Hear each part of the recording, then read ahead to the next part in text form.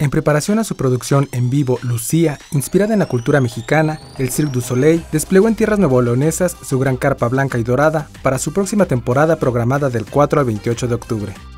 En un espacio del sector Valle Oriente del municipio metropolitano de San Pedro Garza García, la compañía con sede en Montreal indicó que para el montaje de Lucía, Así Soñamos México, viajaron con 67 camiones de remolque que transportaron cerca de 2.000 toneladas de equipo.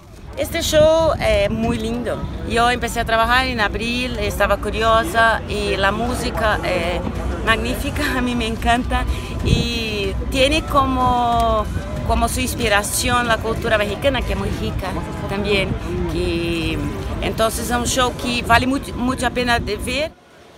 Para la temporada en el suelo neobolonés, la gran carpa de Lucía tendrá capacidad de 2.400 asientos, por lo que su compleja configuración demora ocho días en completarse. Esto es necesario muchas personas y muchos departamentos que, trabajan juntos para que esto sea posible. Entonces, por ejemplo, en estos días, los dos primeros días, en que levantamos la carpa y los mastros, trabajamos con las personas que son uh, de la carpa, especializadas en la carpa. Personas de muchas nacionalidades juntas y que trabajemos para un, bien común. Estamos hablando de como 150 personas en la parte técnica de los artistas. Los artistas son 45 artistas y todo, todas las otras personas son técnicas.